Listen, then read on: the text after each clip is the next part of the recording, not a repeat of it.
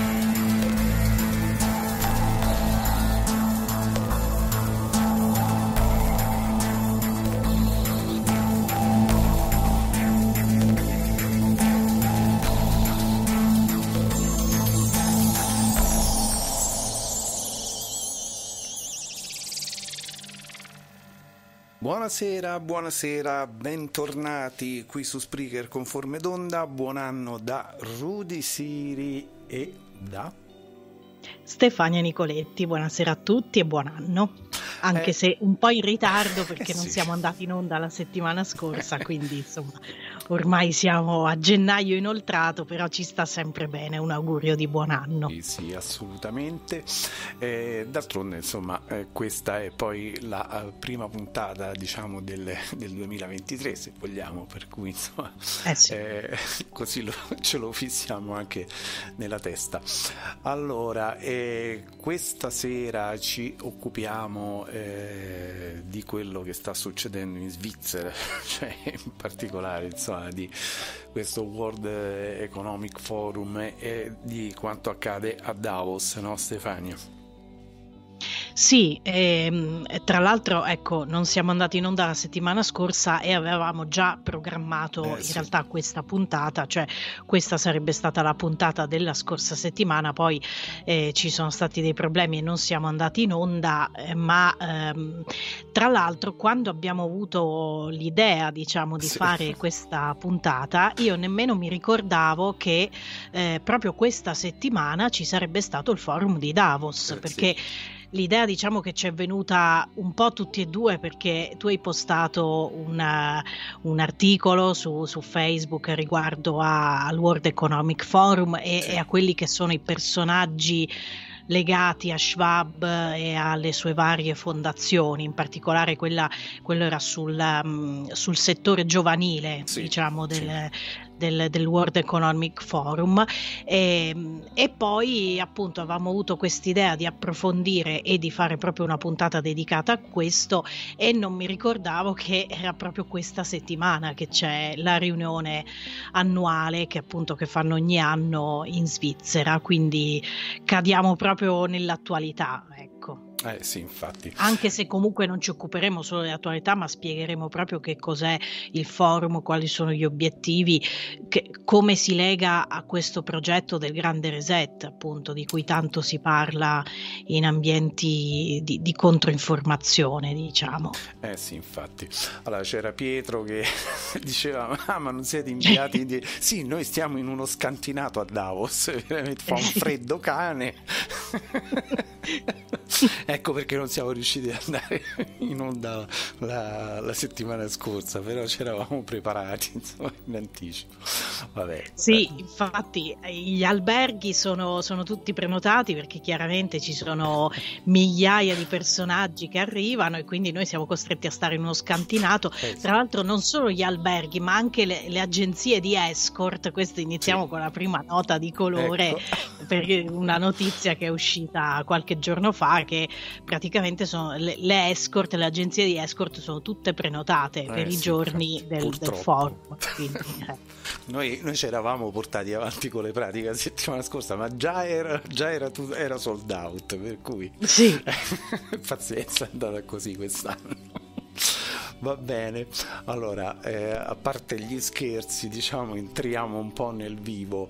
Allora, intanto sarebbe interessante eh, capire insomma eh, chi cavolo è questo Schwab, insomma, da, da dove esce fuori, perché perché poi ecco, la cosa mm, che veramente mm, a me in qualche modo spaventa, cioè il fatto che questi abbiano creato un forum dove poi ci vanno tutti compresi eh sì. i capi di Stato, insomma, capi o funzionari vari, diciamo, dei vari stati, insomma, poi vedremo, mm, ah, magari insomma, ne parleremo anche di, di, di questo aspetto qui, però questa cosa è veramente strana, insomma, perché noi siamo, eravamo andati la settimana scorsa a cercare un po' di, di biografie no? eh, di, di, Schwab. Eh, abbiamo tralasciato chiaramente quello che si trova su Wikipedia, volutamente anche perché insomma, sappiamo come, come, lavora Wikipedia però insomma, era interessante eh, su Britannica per esempio eh, non si dice quasi, quasi nulla eh, sì. veramente quattro, quattro, righe messe in croce insomma cioè nel senso che non eh, mi sembra che non ci sia neanche indicata, se non sbaglio, la data di nascita di questo signore. Eh, e so, si dice semplicemente che è fondatore e presidente esecutivo del World Economic Forum che lui ha fondato nel 71. Quindi questa cosa è già da anni che va in giro. E, e che opera poi, eh, diciamo che forse all'inizio eh, non so quanto se ne parlasse di questo, io almeno negli anni 70 ne, non ne sentivo parlare moltissimo mm, e anche negli anni 80, poi non so, mh, mm, secondo me comunque loro hanno preso eh, piede diciamo forse dal, dall'87 in poi, però adesso lo vedremo insomma anche da queste note che noi abbiamo raccolto. Allora, appunto, è, è, famoso per questo incontro appunto che si sta svolgendo ecco, quest'anno, proprio in questa settimana in Svizzera. Attira principali leader del mondo, degli affari, del governo, società civile, insomma tutto il mondo. Ha eh, conseguito lui, Schwab, dottorati in ingegneria meccanica e in economia, oltre a numerose lauree honoris causa sulle quali insomma magari possiamo anche proprio cioè, fregarcene perché se sono state date diciamo quei metodi che conosciamo valgono praticamente come eh, il 2 di, di Picche quando regna cuori eh, nel 98 insieme alla moglie Hilde ha creato la Schwab, eh, Schwab Foundation for, so- for, Social Entrepreneurship. Insomma difficilissimo da, da, da, dire forse non ci riesce manco lui. Allora, che sostiene oltre 350 imprenditori sociali in tutto il mondo che poi questi imprenditori sociali vorrei sapere che cosa vuol dire secondo Britannica io non sono andato a cercarlo non so se tu ne hai un'idea Stefania ma eh, credo che siano queste, queste nuove definizioni che, che, che danno adesso no? per, per, indorarti la pillola, no? cioè per eh, per farti credere che questi sono meglio di, de, dell'imprenditore classico, che, cioè di, di, quello che cerca solo il profitto. Credo che sia qualcosa del genere. Infatti, uno dei termini che, mh, per esempio, a, al World Economic Forum utilizzano spesso è questo termine stakeholders, cioè i, mh, eh, i, i, portatori di interessi, eh, mm. cioè perché si sostiene questa teoria per cui non è solo il, il, ehm, diciamo, la dirigenza di un'azienda che ottiene profitto o comunque interessi da, dall'azienda stessa, ma tutta una serie di altri personaggi collegati, tra cui anche i lavoratori, perché ecco appunto ti fanno credere che, che, che tu comunque fai parte di questo processo, no? di, questa, sì, sì. di questa creazione dell'economia. E quindi c'è questo termine appunto portatori di interesse che è molto vago, non, non si capisce in realtà, infatti è stato anche criticato da, da molti anche economisti eh, proprio per questo, per il fatto che mh, dice tutto e non dice niente niente alla fine, cioè che significa portatori di interessi, quindi tutti saremmo portatori di interessi, ah, però certo. poi alla fine sappiamo bene invece come funziona il capitalismo, ma loro fanno credere di essere a favore di un capitalismo più etico, diciamo così, anche se non lo è affatto, anzi. Infatti. Eh sì, immagino che sia uno di questi nuovi termini che girano da un po' di tempo, insomma, sai, come tutti quelli del, del politicamente corretto, insomma, diciamo, fa, parte di quella cosa lì. Sì, allora, come questi termini che vanno tanto adesso, tipo resilienza, sì. eh, sostenibilità, sì. tutti questi termini che poi peraltro non sarebbero neanche così negativi, originariamente non lo erano, però loro li hanno presi e li hanno distorti e, e, e, ne hanno fatto quello che hanno voluto, insomma, per, per, i loro interessi e adesso portano avanti questo mantra continuo della resilienza, c'è anche il famoso PNR, no? il sì, Piano PNR, Nazionale sì, di Resilienza e, e, l'altra R non so, non mi ricordo che cosa significa. E rivoluzione, eh, eh, sì. noi. No, ma infatti sì, vabbè, è, è, è questo, questo, mondo che questi vorrebbero cercare di plasmare, sarà il loro mondo, non sarà forse il nostro, però comunque viene anche un po' da ridere insomma, a pensare a queste operazioni, insomma, che sono veramente ridicole. Allora... Sì, adesso cioè, vedo un commento di Pietro che dice tipo un Farinetti dei nostri di Italy. Infatti, sì, sì è, è la filosofia è quella, è quella, diciamo. Farinetti è, uno, sicuramente non è neanche lontanamente paragonabile a Schwab per il potere che ha, però è sempre è quella, la filosofia sì, che sì. portano avanti è quella. Infatti, dice Pietro, ma che poi i lavoratori gli fanno causa perché sono sottopagati. Eh sì, infatti. Sì, sì. Ah, eh, allora, poi eh, abbiamo allora, da un'altra biografia invece che io eh, sono andato un po' a scovare in giro. Eh, questa magari forse rimane un po' più interessante, diciamo non tanto per quanto riguarda le date, però magari per, mm, per inquadrare ancora un po' meglio questo eh, World Economic Forum. Allora, come sempre appunto nato nel 71 allora, era nato come European Management Forum, quindi diciamo che all'inizio forse aveva un'intenzione più eh, aziendale, manager, cioè diciamo rivolta verso le aziende, verso le industrie, verso il management, no? E, all'epoca, insomma, lui era alquanto giovane e, e nel 71 appunto eh, riunì oltre 400 partecipanti per una conferenza appunto in una città eh, delle Alpi svizzere che appunto è Davos. E lì è rimasto come sempre l'appuntamento. Eh, il suo successo ha dato vita all'istruzione eh, all'istituzione che Klaus Schwab eh, dirige oggi. La missione è espressa nel suo motto allora attenzione impegnato a migliorare lo stato del mondo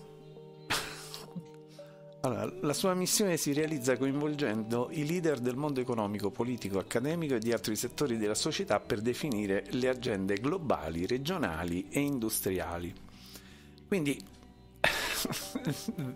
già no, eh, queste sono è un po' come, come, la storia del club di Roma, Budapest e quant'altro, no? Tutti impegnati sì. a, a, migliorare l'ambiente e poi insomma abbiamo visto che dell'ambiente se ne, se ne strafregano, insomma, vabbè, poi abbiamo visto anche quello che è successo eh, riguardo appunto anche a questa specie di protesta che c'era stata da parte di Greenpeace in questi giorni lì davanti, no? perché appunto contestavano il fatto che arrivano con jet privati, con eh, SUV, con macchinoni che consumano eh, litri e litri e litri tra, di, di, carburante, insomma, a noi invece ci dicono che dobbiamo abbassare la temperatura in casa perché eh, purtroppo insomma, poi l'anidride carbonica è un problema, insomma.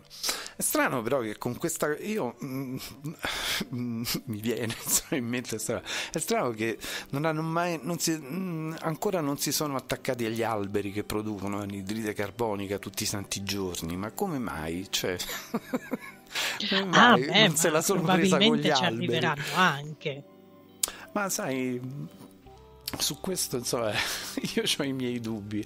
Anche vedendo quello che sta succedendo no, pure proprio a livello industriale non so se era di ieri o l'altro ieri la notizia che la Toyota farà solo e unicamente macchine ad idrogeno.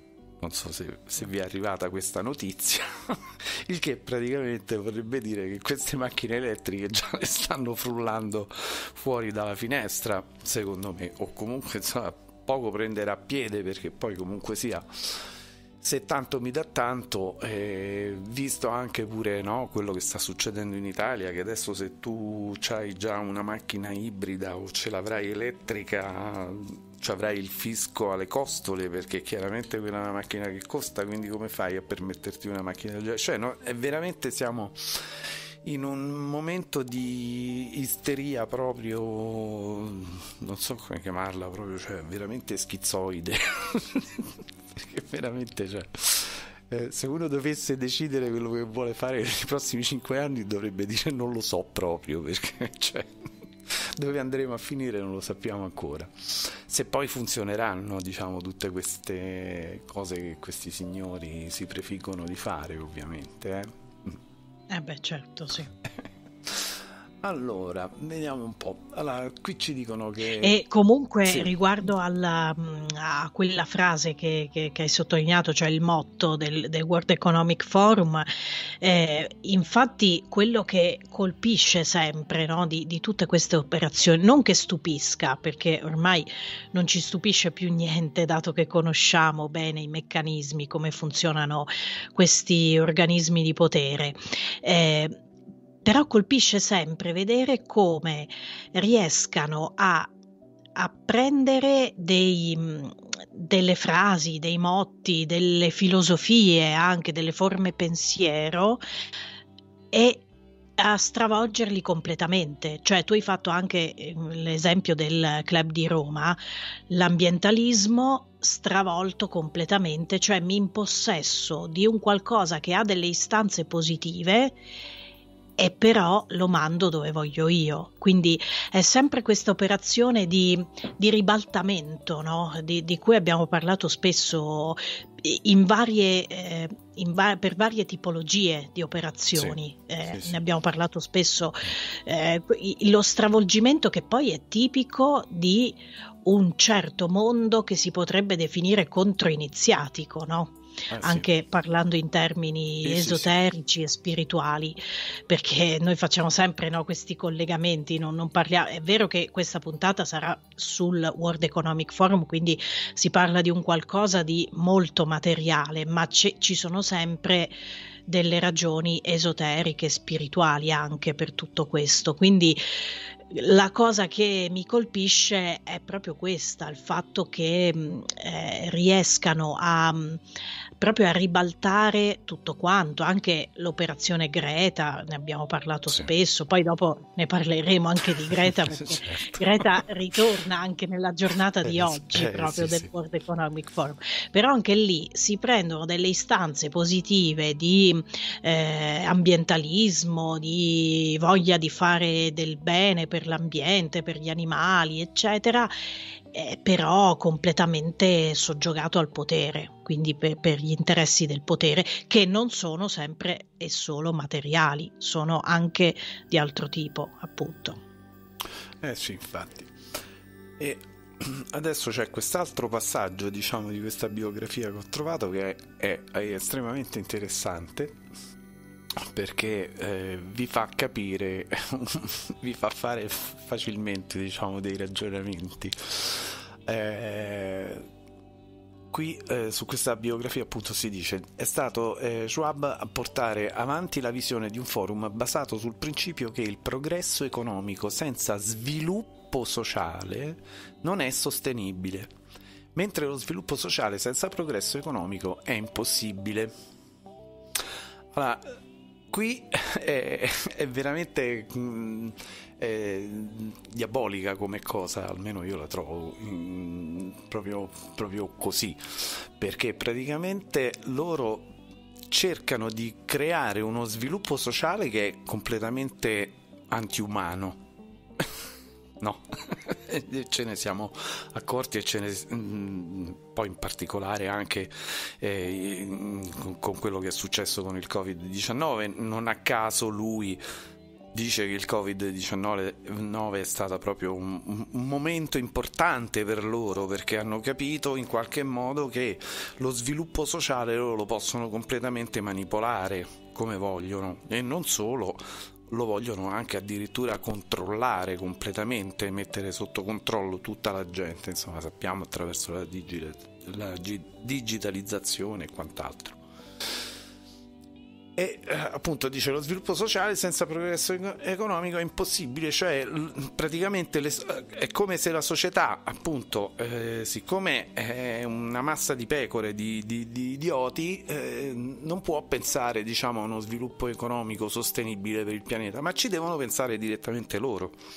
E quindi loro ti danno già eh, hanno, hanno già tutti gli strumenti diciamo, per mettere in piedi una cosa del genere. Io almeno ecco questo passaggio lo trovo veramente diabolico, poi non lo so, te la palla. Sì, sì.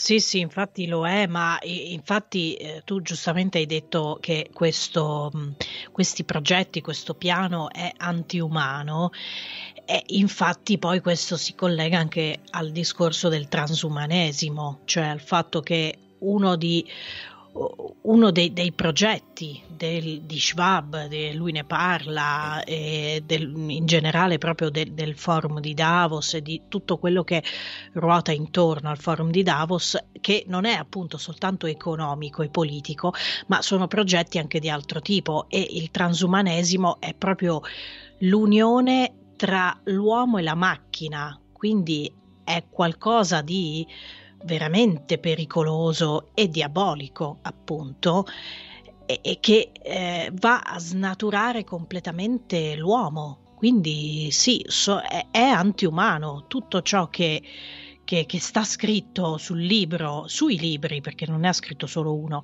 di, di Schwab e tutto quello che c'è nei, nei, progetti del World Economic Forum è antiumano, assolutamente.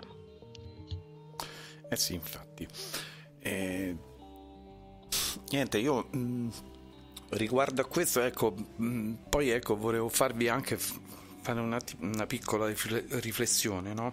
Cioè io mm, penso che ci sono dei, delle cose che mh, attraverso una legge potrebbero essere eh, immediatamente eh, abolite. Allora, guardate per esempio quello che è successo con eh, la tutta questa storia della plastica. Ecco, faccio uno dei tanti esempi perché poi si potrebbe fare anche l'esempio del, della cosiddetta crisi energetica e quant'altro. Intanto le crisi le, le inventano loro, le, lo sappiamo, no? Però ecco per dire vogliamo abolire la plastica? Allora, con un semplice decreto legge visto che appunto i decreti erano così potenti addirittura da tenerci chiusi dentro casa agli arresti domiciliari per mesi io con un decreto legge dico che da oggi o tra un mese praticamente tu che produci qualsiasi prodotto e lo metti dentro la plastica chiudi. Cioè o ti inventi o ti inventi altri imballaggi oppure tu non puoi, non puoi più vendere i tuoi prodotti perché la plastica è vietata per legge da domani, dopo una settimana, dopo un mese, la plastica sparisce. Basterebbe fare una legge, non la fanno. Quindi vedete, loro fanno le leggi le fanno quando gli pare a loro e vi limitano le libertà. Certe libertà che invece andrebbero limitate, come per esempio l'uso della plastica, questo è un esempio stupido che io ho fatto, ovviamente, però importante perché ci stanno rompendo le scatole da, da, anni ormai con questa storia, come se fossimo noi consumatori a produrre la plastica, noi ce la ritroviamo in più, la dobbiamo pure buttare dentro i secchi poi alla fine, no? Però questo era tanto per dire insomma questi quanto sono potenti però diciamo il potere non lo usano mai per, per scopi eh, giusti ma per quello che, che, gli interessa a loro. Tant'è vero che nell'87 il signor Schwab cambia direttamente il nome in World Economic Forum eh, perché secondo lui rifletteva meglio la natura globale delle sue attività. Eh, e Schwab ha riassunto il forum come imprenditorialità nell'interesse pubblico globale. Questo è quello che il forum sarebbe non so.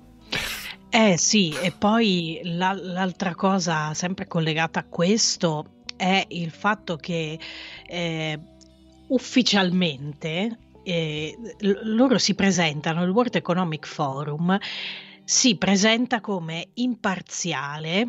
Adesso leggo testualmente da una cosa che avevo trovato sì. che non mi ricordo dove l'ho presa perché avevo fatto copia e incolla, comunque è Mm, è tipo queste, questa che, sì. che, hai letto tu, insomma, cioè sono cose che, che si trovano, sono, potrebbe anche essere proprio dalla stessa Wikipedia, perché comunque qualcosa da lì avevo letto, anche se si trovano chiaramente le cose, solo, solo quelle ufficiali, no?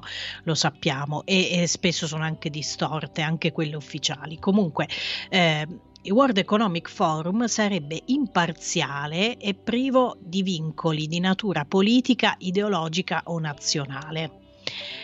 Ehm, però il problema è che eh, la fondazione è finanziata da circa mille imprese associate che sono in genere multinazionali con fatturato superiore ai 5 miliardi di euro e, eh, e, queste imprese sono, sono, sempre, sono quasi sempre leader nel proprio settore o nel proprio paese e hanno un ruolo chiave nell'orientarne gli sviluppi futuri. Quindi, cioè, di quale imparzialità stiamo parlando? Se, cioè, è, de- è, detto proprio apertamente, non può essere imparziale una cosa del genere, no? Non, non lo è. Cioè, sono, sono, eh, sono, loro che il controllore che controlla se stesso, praticamente. Eh, sì, sì. Cioè, sono finanziati da queste grosse multinazionali. Eh, questo è quindi chiaramente cosa faranno? Faranno gli interessi delle multinazionali. Questo è semplicissimo da capire certo. e funziona sempre così in questi centri di potere. Allora, qui ci sono mm, veramente quattro uh, note biografiche, anche se ci tenevo insomma a dire che poi una cosa importante tra le tante cose che eh, Schwab ha istituito c'è anche il forum dei giovani leader globali che è una comunità di leader dinamici e stimolanti così ce li, ce li, dipinge diciamo questo sito. Sono smart oh, sono molto sì, sono tutte smart tutte piccolette. Allora, eh, tra i giovani sotto i 40 anni eh, per rispondere al crescente consenso sul fatto che le sfide che il mondo deve affrontare richiedono soluzioni integrate.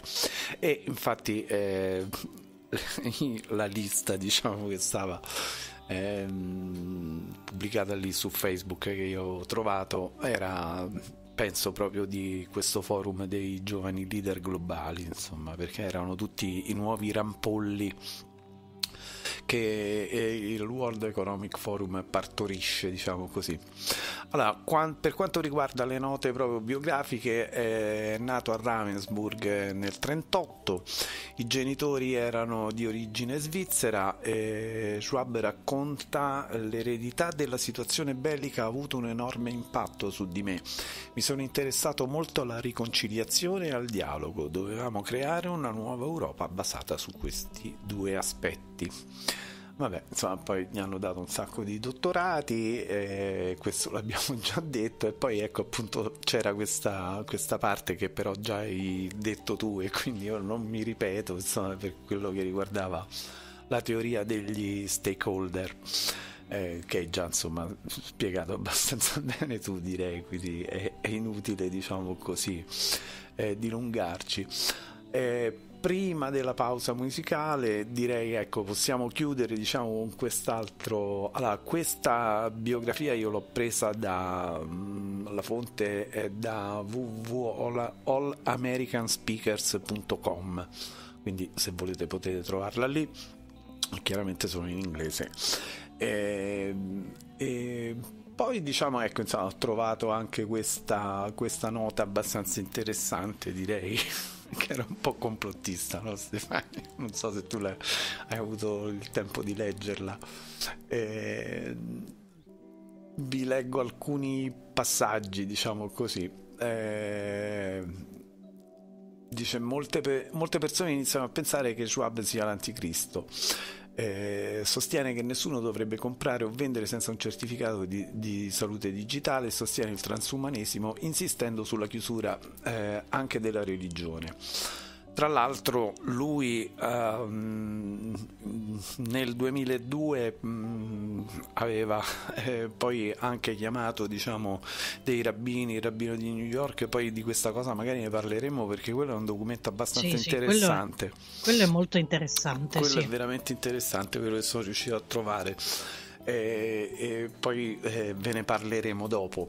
Eh, allora, poi dice, non, eh, questa, questa, nota diceva, non so se sia l'anticristo, ma è, è, un uomo molto malato e altamente pericoloso.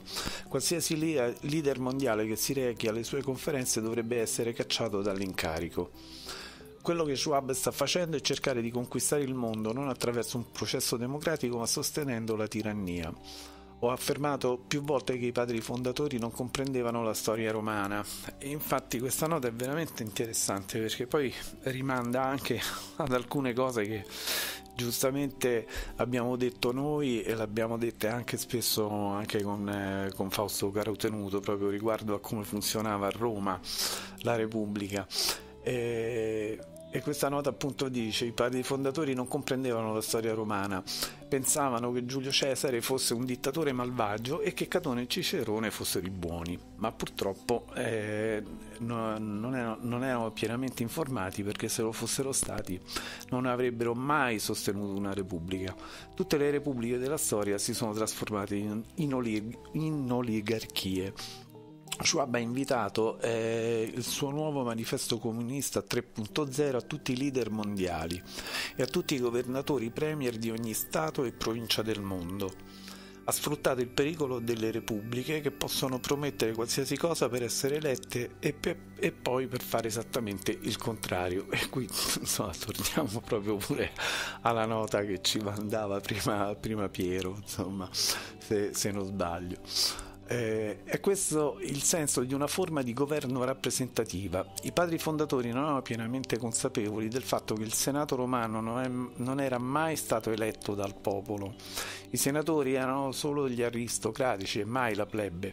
Non c'era alcun diritto di voto per il popolo e questo è esattamente il punto in cui ci troviamo ancora una volta. Ci dite qualsiasi cosa fate e fate esattamente il contrario a te il commento, Stefania, se vuoi. No, no, beh, non, non, aggiungo, non aggiungo, niente a, a questo, eh, perché poi sì, l'avevo letto che era quello che mi ave, uno dei, dei sì. documenti che, che, mi avevi mandato. Non so chi l'ha scritto, eh, perché appunto viene da questo sito. Ehm... Armstrongeconomics.com Eh, ok, eh, perché non sono andata a vedermi il link eh, originale, sì. quindi non so eh, chi è mm, che insomma, che, che, l'ha diciamo... scritto. Comunque sono interessanti in effetti questi richiami alla storia romana e alla, mm, alla vera natura della Repubblica e, e, collegata insomma all'attualità e a questi centri di potere. Sì. Questo è, mm, è, interessante. E poi per quanto riguarda una cosa a cui tu hai accennato e di cui poi parleremo appunto adesso, penso dopo la pausa, sì. eh, è proprio questo, questo suo legame con il mondo ebraico eh, che non c'è solo in quello che diremo ma anche in un'altra cosa che ho trovato oh. eh, che è sempre legata al mondo di Israele comunque a, a alle, a, alle, lobby ebraiche, chiamiamole così, sì. eh, pur non essendo Schwab ebreo, perché lui sì, credo che sia, non so se ufficialmente forse è protestante di, di, religione. Comunque, fatto sta che lui ha questi legami molto forti con, eh, con Israele e col mondo ebraico. E beh, ma mm, deve averceli per forza poi alla fine, perché se pensiamo che comunque eh, sì. tanta finanza di, di, quella, specialmente che sta in America, è di quella matrice lì, d'altronde, per cui insomma non è che non, non, eh, puoi, sì. non puoi, farci i conti. insomma, hai... No, infatti eh. se, se, non hai certi, certi legami non, non, vai avanti in eh, quell'ambiente cioè, lì e soprattutto non, diventi quello che poi lui è diventato, insomma. Eh sì. Bene, allora facciamo la prima pausa musicale e ci andiamo ad ascoltare. Avevamo sentito qualcosa, mi sembra l'anno scorso, di David Sylvian, e invece adesso lo, ri- lo riascoltiamo con un brano dei Japan, The Art of Parties.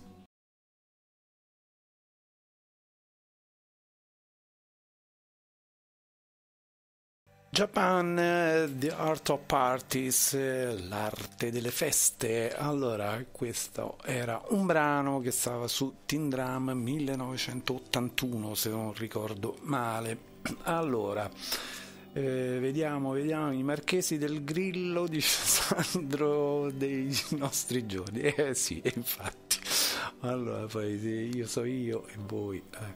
Allora, si legge anche che l'economia, dice Pietro, è ciò che determinerà lo sviluppo umano come eh, unico modo e strumento in posizione de- dell'economia. Vabbè, sì, è certo, appunto. allora, se, se, appunto dice così che l'economia è tutta è, è importantissimo insomma, avere dei contatti poi insomma con le banche americane con eh, le, i grandi trust diciamo anche tenuti dalle lobby ebraiche che sono in particolare negli Stati Uniti, ma anche un po' insomma, in tutto il mondo, direi. Allora, Stefania, tu ci sei? Eh sì, infatti avevo visto anch'io questi commenti di Pietro, sì, infatti è, è questo poi il, il riassunto di, di tutta la, la, filosofia del World Economic Forum, cioè l'economia appunto come unico modo e strumento, come se fosse l'economia a determinare lo sviluppo umano, cosa che non è, perché... E che non è stata per secoli, perché poi ecco, diciamolo... No, cioè, in realtà sì, le monete venivano utilizzate anche ehm, nei tempi antichi, ma eh, se poi ecco, parliamo addirittura dei romani, dei greci, addirittura eh, erano più al tempo dei romani, insomma, io leggevo mh, mm, anni fa insomma, dei testi che dicevano che poi alla fine le monete servivano molto più per far sapere diciamo, ai confini dell'impero chi era l'imperatore che che, più, che, che, più che un, un, mezzo diciamo di scambio in realtà perché comunque il baratto è andato avanti per secoli cioè ma um, addirittura cioè, era stato rimesso diciamo no? anche durante l'ultima guerra durante la seconda guerra mondiale tanta gente si è aiutata attraverso il baratto insomma io avevo questo tu hai quell'altro ci si scambiava poi specialmente poi quando c'è stata la penuria anche di mezzi proprio di sostentamento momento importanti. Eh, io ho avuto la testimonianza in famiglia di mio nonno che ha salvato la famiglia grazie a due sacchi di sale perché il sale era introvabile, a lui gli avevano regalato questi due sacchi, lui praticamente con questi due sacchi ha comprato qualsiasi cosa, insomma, perché il sale non si trovava. Per cui, cioè... Ehm, non è assolutamente vero, cioè queste sono proprio vere e proprie, come giustamente dicevi tu Stefania, sono proprio delle vere e proprie forme pensiero che poi prendono, prendono piede e prendono sostanza, diventano delle vere e proprie gregore poi alla fine.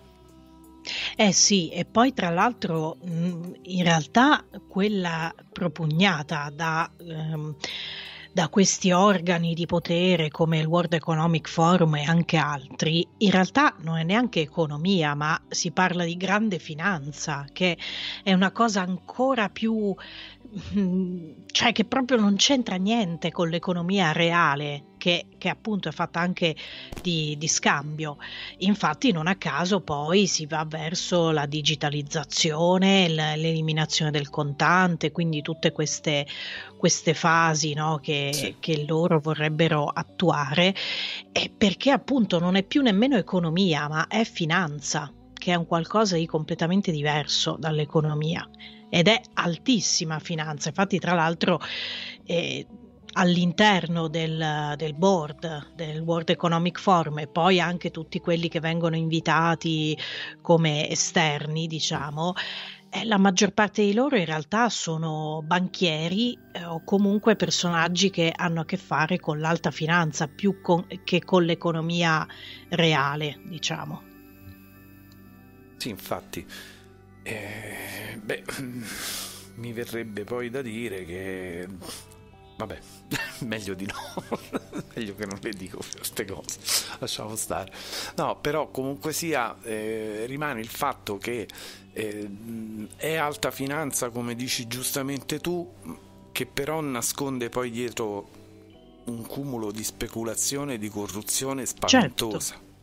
È questo sì, quello sì, che bisogna è questo quello che poi, cioè i risultati poi si vedono esclusivamente da questo, cioè i fatti poi sono questi, perché poi ecco, ehm, c'è proprio una, c'è veramente un, una supponenza anche da parte di questi personaggi che mh, proprio per il fatto che loro comunque possiedono eh, tante cose diciamo a livello materiale si sentono comunque eh, anche in dovere diciamo di dover eh, eh, condurre i popoli in qualche modo ma a loro serve semplicemente specularci sopra e farsi gli affari loro, a loro del, del mondo non interessa assolutamente nulla, perché ecco, l'abbiamo già detto prima, insomma, se, se basterebbe pochissimo, insomma, basterebbe poco per risolvere alcuni problemi, insomma, come ecco tutta quest'altra storia che adesso no, sta andando in giro di, di queste farine, insomma, di, di, di, grilli e compagnia, noi dobbiamo, ce n'è stato un altro, io adesso adesso non so,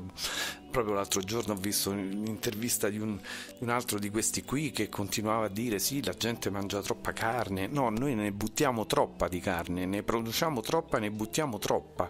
E tutta quella che buttiamo oltretutto servirebbe per sfamare tutto il resto del mondo, insomma, per cui cioè, la fame, io, sono, io mi ricordo negli anni 60 ci hanno, ci hanno violentato a noi bambini con, con, eh, con eh, immagini dei bambini che morivano di fame in Africa.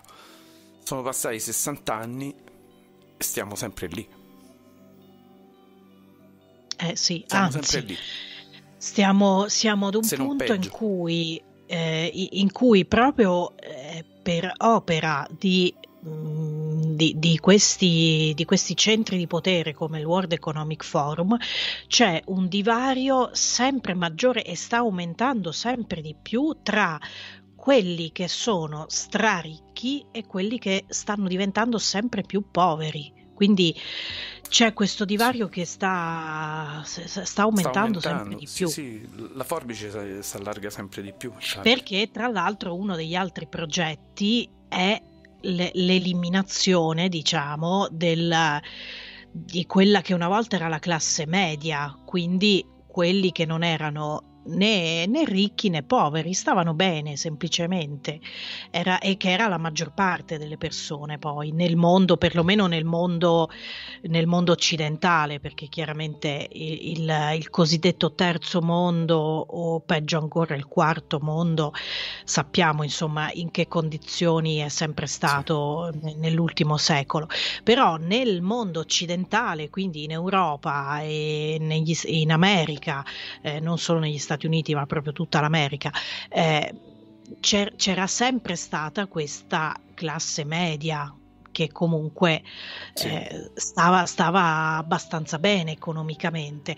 Invece adesso si tende all'eliminazione, quindi eh, con, con, tutti questi, tu, fa tutto parte di, di, questi progetti che poi sempre, fa sempre parte del progetto del cosiddetto grande reset. Questi sono eh, queste sono le fasi che, che, porteranno a questo e quindi mh, mm, si vede sempre di più questa forbice che si sta, che si sta allargando tra mh, mm, i sì, super ricchi e, e, le persone che invece prima non erano povere ma che adesso invece lo diventano sempre di più.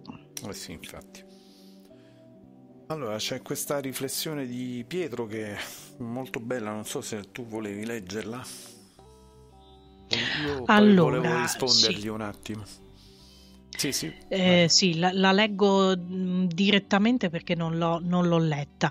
Allora, mi viene da pensare che spostando il focus sull'economia si sposta l'attenzione dal vero moto di sviluppo, l'intelligenza, la volontà umana, potendo poi passare da questa magari alla macchina, ovvero l'intelligenza artificiale, come avete già detto, transumanesimo. Sì, infatti sì, infatti il transumanesimo, l'intelligenza artificiale, la, la, la iperdigitalizzazione, sì, sì. l'identità digitale, perché non solo, non solo, la moneta digitale, ma anche l'identità digitale.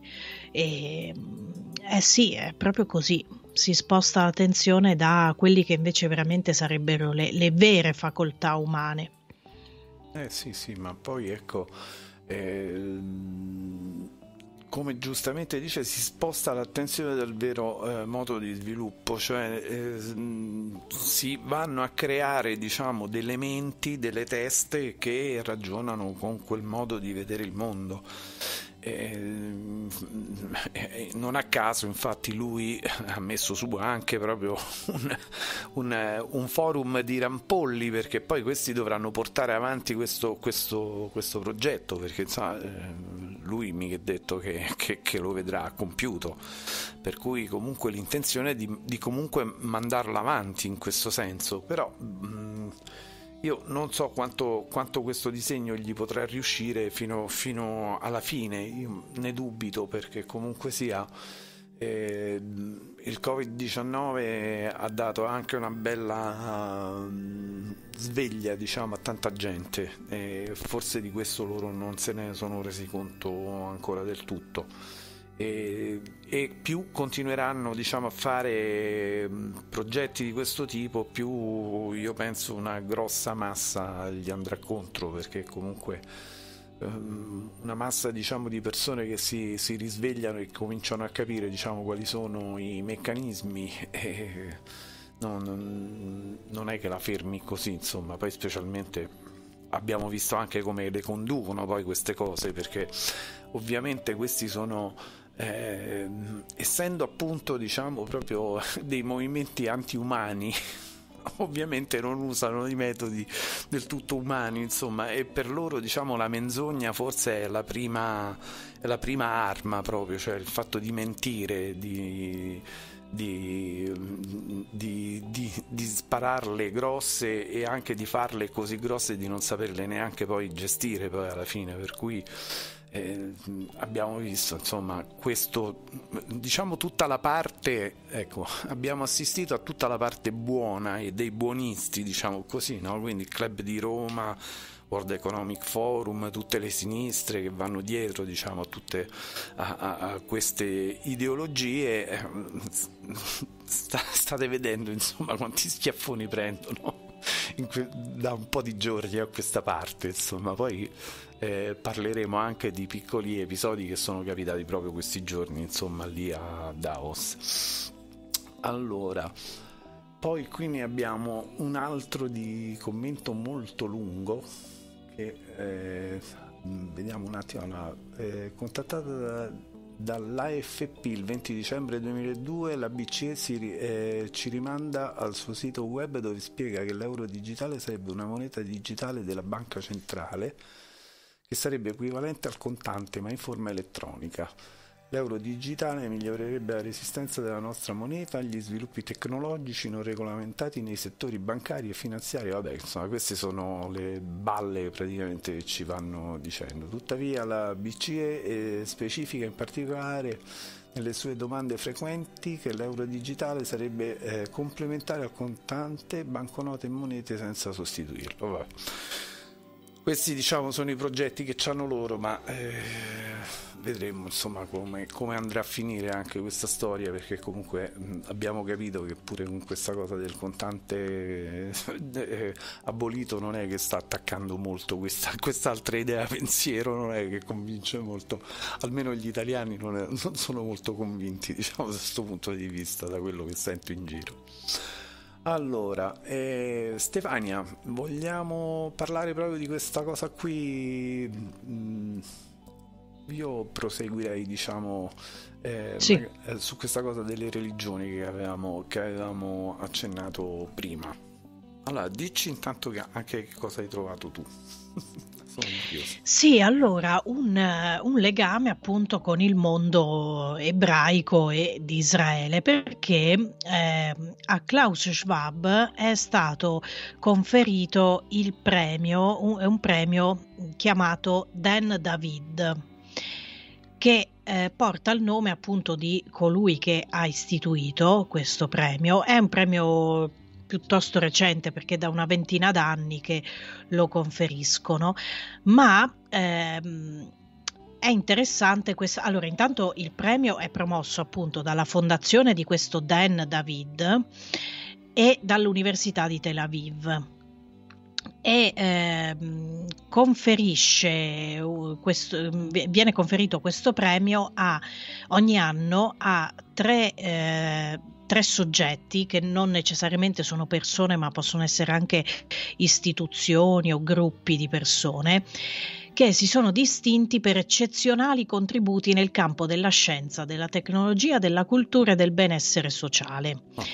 Ma la cosa interessante è che questo filantropo, perché tanto sono sempre filantropi, no? come, come, George Soros che viene definito filantropo perché sembra una cosa, una cosa bella, no? una cosa positiva.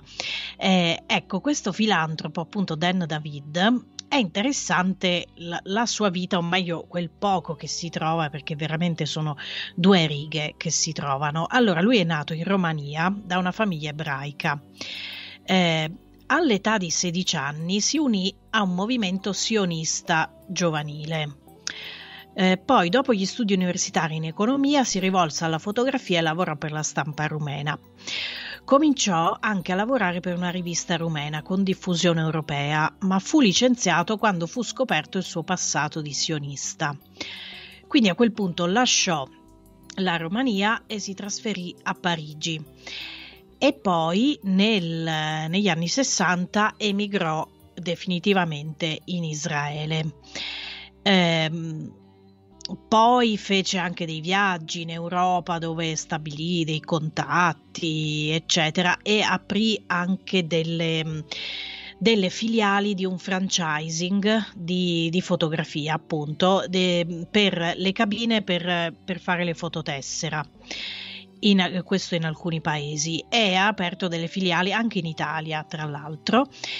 E, quindi insomma è interessante la vita di questo personaggio perché eh, praticamente eh, questo, questo, soggetto è un sionista, dichiar- dichiaratamente sionista, mm. che poi appunto è andato a vivere in Israele, poi è diventato eh, uomo d'affari, filantropo appunto e ha deciso di istituire questo premio che viene dato ogni anno e nel 2000 e 4 venne conferito questo premio a, proprio a Schwab e tra gli altri che hanno ricevuto questo premio eh, ci sono dei nomi interessanti perché per esempio c'è ehm, c'è il nostro Giorgio Napolitano.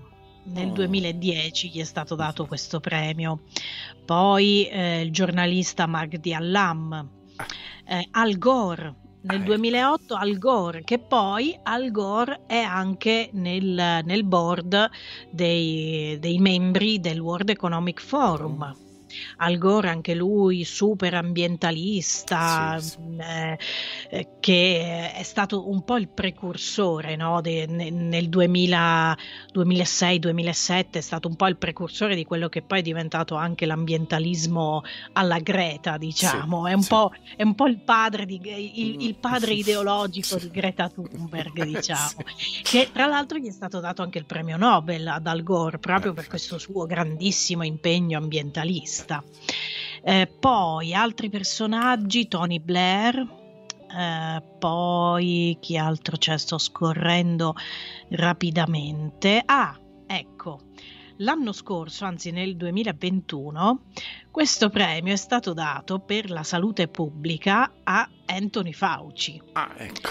perché chiaramente perché ha fatto molto per, Sì, per, sì. eh, La, la gestione del Sì. covid quindi che fai non gli dai un premio Un eroe e quindi proprio. gli hanno dato questo premio quindi è interessante anche questo premio sconosciuto perché io non sapevo dell'esistenza di questo premio sempre appunto legato a Israele e al mondo ebraico Sì, poi quando dicevi questi nomi, cioè, cioè, se la cantano e se la suonano, cioè si, si danno i premi da sé. Sì, sì, esatto, sì. Ma facciamolo E pure infatti noi. sono sempre loro, ma Facciamo un- infatti anche i nomi Facciamo che pure noi un compaiono- premio di forme che- d'onda, che ne so.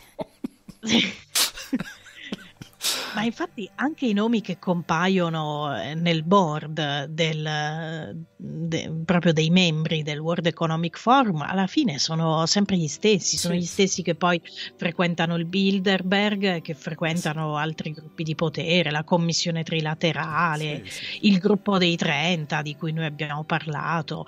Cioè, per esempio, nel, nel board del World Economic Forum c'è ehm, Christine Lagarde, che Ecco. Attualmente è presidente della BCE, della Banca Centrale Europea, e- ed è ex direttrice operativa del Fondo Monetario Internazionale.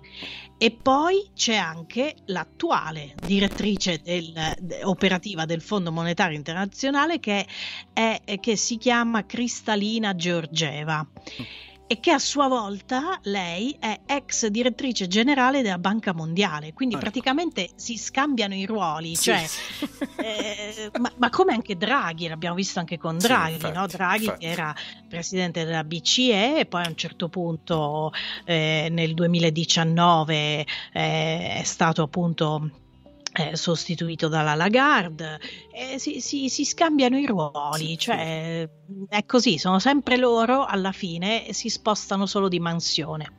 Eh sì, infatti. Christine, com'era, com'è la poltrona su cui sei stata per due anni? Ah, comodissima. Ah, eh, faccio un giretto io l'anno prossimo. Ok. Ecco. Grazie, così non la devo cambiare, grazie. Ecco. Vabbè, beh sì, cioè, veramente, guarda. Allora, ehm, questo documento poi appunto che, che abbiamo scovato eh, è un documento del, addirittura del 2002, quindi stiamo a un anno, nemmeno, no, nemmeno a un anno, a pochi mesi diciamo dall'11 settembre. Eh sì, infatti c'è una particolarità che mi ha colpito proprio di questo, di questo articolo, oltre al fatto che parla appunto della, eh, de- mh, dei leader religiosi che per la prima volta ehm, avrebbero partecipato al- alla riunione del forum di Davos, ma poi soprattutto la cosa che mi ha colpito è un particolare proprio della vita di Schwab, che adesso forse eh, non so se lo vuoi dire tu o se... No, no, vai, vai, vai, vai. Eh, allora, eh, Schwab eh, il giorno, la, la, mattina proprio degli attentati dell'11 settembre al World Trade Center, bella, si trovava ragazzi, proprio eh? a New York. Questa è bella, ragazzi. Vai, vai, eh stava sì, a ma infatti, York. guarda, questa di tutto l'articolo, di tutto Sì, questo sì, sì. articolo è stata la cosa che mi ha colpito di più, l'ho subito sottolineata, infatti. Eh, perché appunto lui si trovava a New York e stava facendo colazione con il rabbino Arthur Schneier Sì. nella sua sinagoga di Park East a New York, appunto. E guarda caso si trovava proprio lì e si trovava con un personaggio che insomma non è che era proprio l'ultimo arrivato, era un personaggio importante, era appunto il, ra- il rabbino di questa sinagoga di, di New York, che chiaramente non è l'unica sinagoga che, che c'è a New York, però eh, se questo era a colazione con Klaus Schwab, sicuramente non è un personaggio qualsiasi, non è che eh, tutti possono permettersi di andare a colazione con Schwab, insomma. E lui era lì proprio la mattina degli attentati dell'11 settembre. Eh sì, infatti. Allora, questo, in questo incontro praticamente eh, lui porta, eh, porta queste personalità eh, dentro, dentro Davos perché, mh, e qui diciamo in, in un certo senso, si, già si preannuncia poi mh, in qualche modo proprio mh, il fatto di voler, mh, cioè di, di cercare di capire insomma come, come gestire questa cosa con le religioni, perché comunque l'11 settembre per loro è una data importante. Eh, cioè in questo incontro insomma eh, ecco vi, vi leggo proprio testualmente vi cito insomma questa questa cosa dice l'11 settembre è dimostrato con più forza che mai che la religione può essere terribilmente abusata per scopi violenti che possono colpire tutti noi e questo lo dice il, questo eh, rabbino David Rosen. Eh, lui appunto eh, poi c'è questo fatto appunto che diceva Stefania cioè dell'11 settembre quando Schwab sta eh, con, eh, con, il rabbino nella sinagoga di Parkist e, eh, Schneier che eh, dirige la Peel of Conscience Foundation eh, è una che è una coalizione di imprenditori e leader religiosi di New York lui aveva intenzione di discutere una maggiore partecipazione dei leader religiosi al forum economico. Dice quindi dopo questo attentato l'idea è sembrata ancora più urgente. Insomma, eh, dice con l'aiuto di, di, questo Schneier, di questo rabbino, Schwab eh, praticamente decide di commemorare il disastro mondiale spostando il forum che tradizionalmente si teneva a Davos a New York e raddoppia il numero dei leader religiosi portandolo a 40, tra cui 8 ebrei. Mentre negli ultimi decenni le nazioni occidentali hanno allontanato la religione dalla, dalla, vita pubblica, la nuova linea del forum è quella di abbracciare la religione, comprendere le sue tradizioni e raccogliere la sua saggezza. E guardate un po' anche che operazione è stata fatta col Vaticano, insomma, il fatto che ci sia andato un Papa che praticamente adesso sta dicendo che la tecnologia è importantissima, cioè io ho letto un, ultimamente una cosa proprio non so se ieri o oggi addirittura mi ha lasciato veramente stupita quest'altra frase che ha detto, vabbè, comunque. Però insomma ecco, vedete come loro comunque si sono anche allargati in qualche modo no? e hanno eh, cooptato anche, il, eh, anche diciamo i, i i movimenti diciamo religiosi. Eh, poi c'è quest'altro passaggio che era interessante dove diceva l'11 settembre esemplifica come i gruppi religiosi in cerca di potere abbiano un effetto devastante sul mondo. E questo lo dice Sachs. Dobbiamo assicurarci che la lezione venga appresa senza una tragedia troppo grande. Eh, poi è strano che comunque poi è uscita fuori tutta sta, la guerra contro, no? Cioè, poi hanno messo in piedi anche Al-Qaeda, cioè, è, è, è interessante, diciamo, tutto, tutto, lo sviluppo in qualche modo che c'è stato, se vogliamo. Allora, eh, allora, poi c'è il forum economico è arrivato sulla scia dell'incontro interreligioso di Papa Giovanni Paolo II il mese scorso ad Assisi, in Italia, di un vertice di leader religiosi ad Alessandria in Egitto e di un recente incontro di leader religiosi alle Nazioni Unite. Allora, Sachs ha ricordato che il primo ministro britannico Tony Blair, eccolo là, eh, ha chiamato i leader religiosi del paese al numero 10 di Downing Street eh, dopo l'11 settembre per aiutare a calmare l'atmosfera in Gran Bretagna. Cioè, evidentemente già anche cioè, gli stava un po' scappando di mano sta cosa, io non lo so. cioè, il fatto che, eh, che eh, ormai avevano detto che erano stati gli islamici a far cadere queste torri gemelle. E che dici Stefania? Cioè, è interessante rileggere pure che clima magari c'era in quei mesi, insomma, perché poi alla fine parliamo semplicemente di cinque mesi dopo. Eh sì, infatti, infatti io quando avevo aperto questo articolo non avevo visto la data, no? E dopo, dopo sono andata a guardarla, ma quando ho letto le prime frasi Infatti non, non, capivo questi riferimenti appunto all'11 settembre, poi ho visto la data e ho visto che appunto era del 2002. Eh, sì, infatti è, è, interessante rileggere tutti questi ormai vent'anni, più di vent'anni, eh, alla luce di, di questo. Eh, sì, sì, sì, sì. Allora, eh, vediamo, poi eh, vi continuo a leggere questo documento. Eh, I rabbini presenti al forum hanno detto che i leader religiosi a volte possono creare fiducia laddove i politici non possono.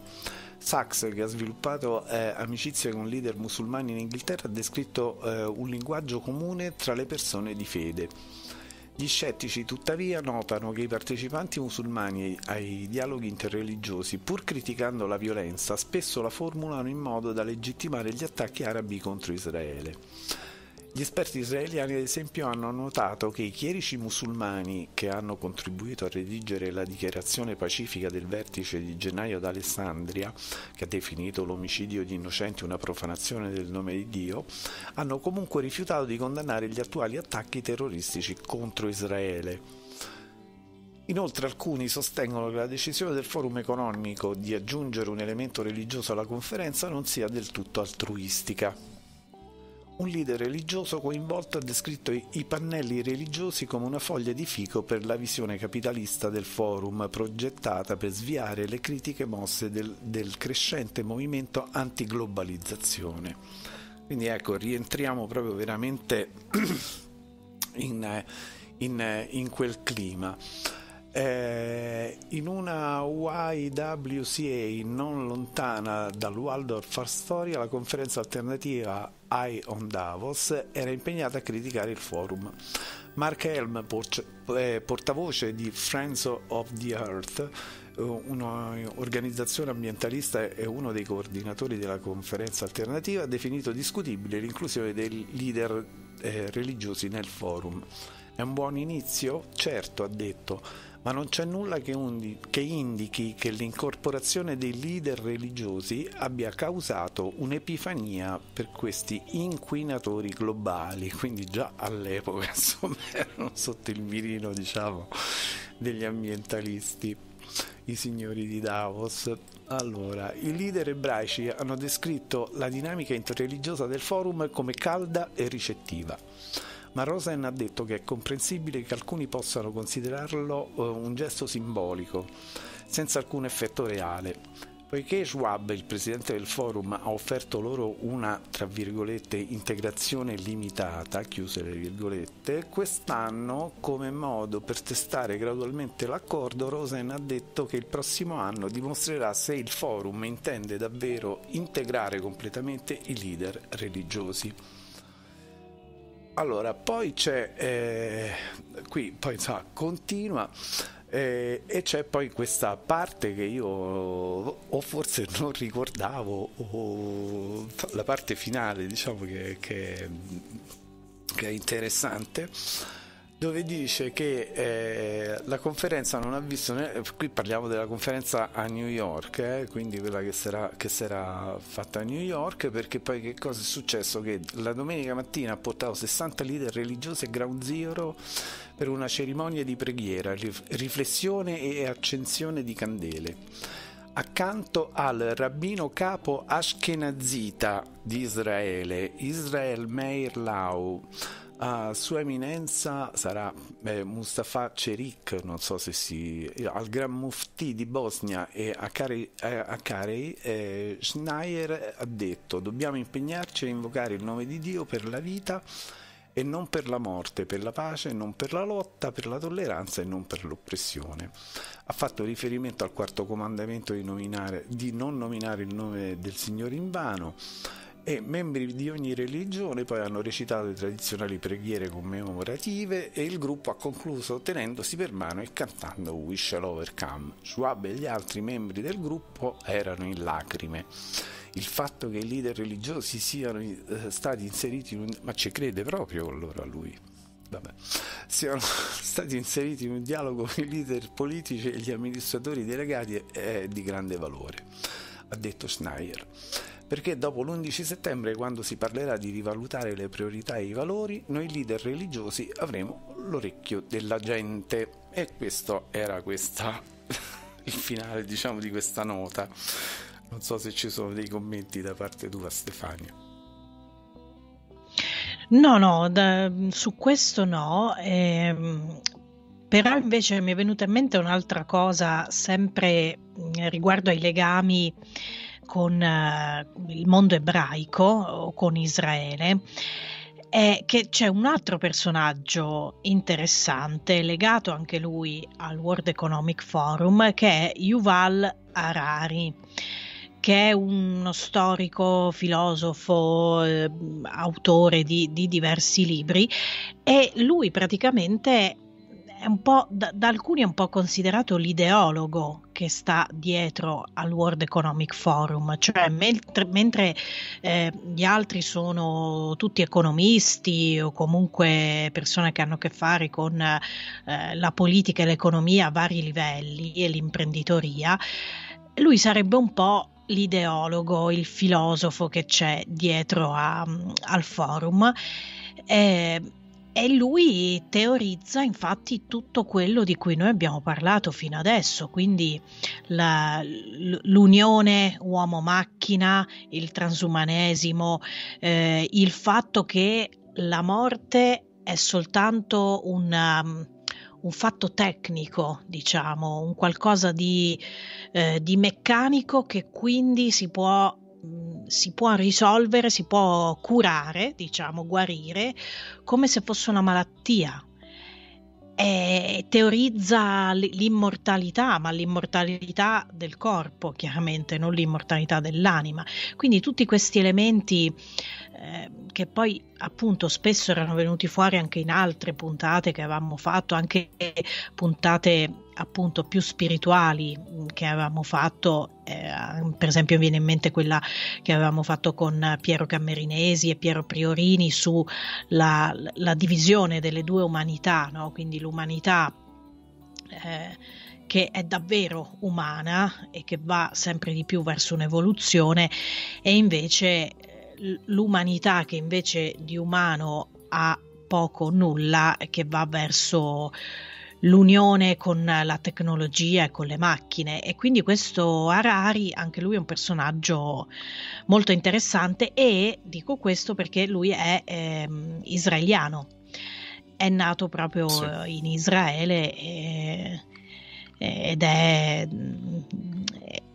ed è di, di, cultura ebraica, diciamo. Adesso non so se poi lui con queste teorie che porta avanti, eh, che chiaramente non hanno niente di spirituale, anzi sono completamente antispirituali, però comunque fatto sta che lui è eh, ebreo israeliano, quindi questo è un altro collegamento con... Eh, tra il, il World Economic Forum e il mondo ebraico ed Israele. Sì, che io comincio sempre più a sospettare che sia un mondo ebraico completamente distorto Perché certo, com- sì, comunque, sì.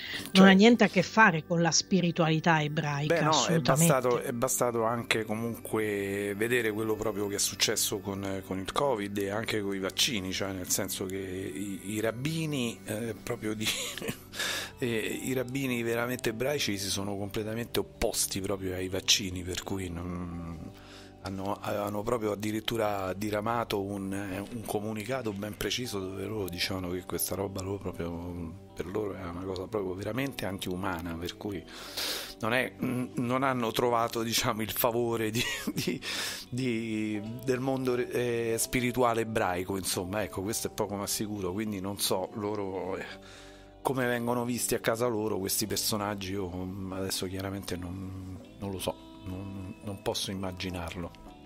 Però diciamo mi baso poi anche su alcune cose che sono realmente accadute per cui basta fare una ricerca e vedere insomma che comunque è andata così lì in Israele per quello che riguardava questa storia dei vaccini. Io farei un'altra piccola pausa eh, musicale e poi riprendiamo perché poi ci sono anche un po' di note di colore diciamo da, da raccontare no? su, questa, su questo eh, incontro che si sta tenendo in Svizzera. Allora, ci andiamo ad ascoltare, sono andato a rispolverare dopo tanto tempo Marta and the Muffins che trovo che sia stato un gruppo veramente interessante negli anni Ottanta e in particolare da Dance Park ci andiamo ad, ad ascoltare World Without Borders.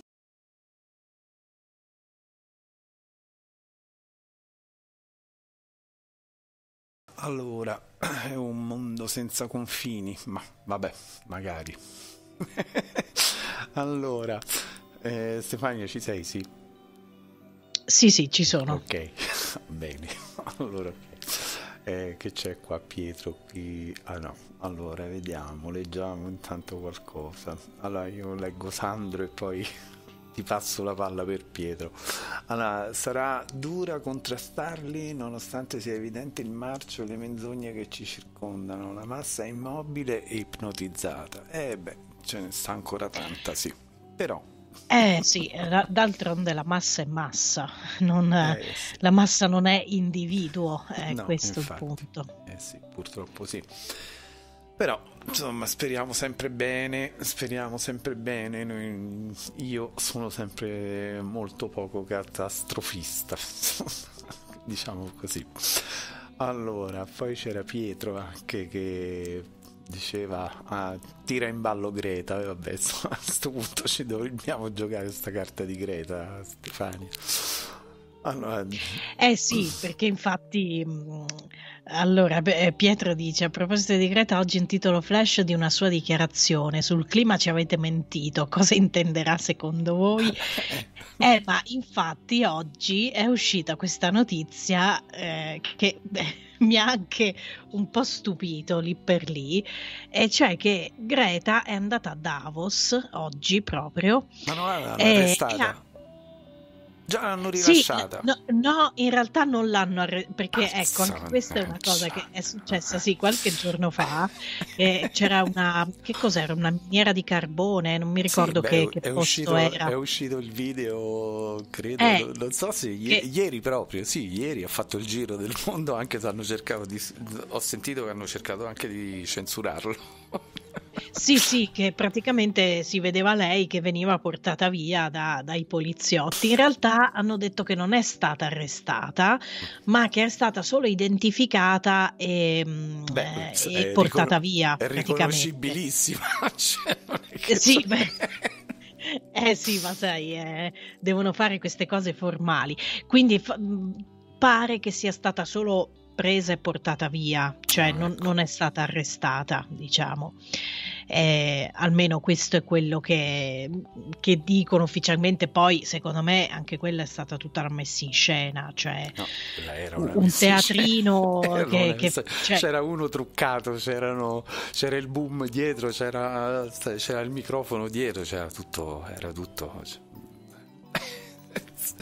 Ma sì, era, è stato fatto tutto sì, sì, è stato fatto tutto in favore di telecamera, chiaramente, Eh, cioè certo. per far vedere che comunque lei è contro, è contro il potere e infatti viene anche identificata dalla polizia. Comunque fatto sta che oggi è andata a Davos e ha attaccato il forum di Davos. E ha detto che i personaggi che ne fanno parte e, e anche tutti quelli che sono lì riuniti, quindi anche quelli che non fanno parte, diciamo, del board de- dei membri, ma anche tutti gli invitati praticamente, quindi tutta l'elite mondiale, perché praticamente in questi giorni lì a Davos eh, si può dire che c'è l'elite mondiale della politica, Sì, sì. dell'economia, eh, eccetera.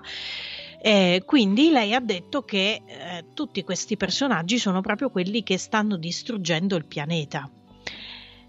E, e- che detto. quindi per questo motivo non vanno, non vanno ascoltati.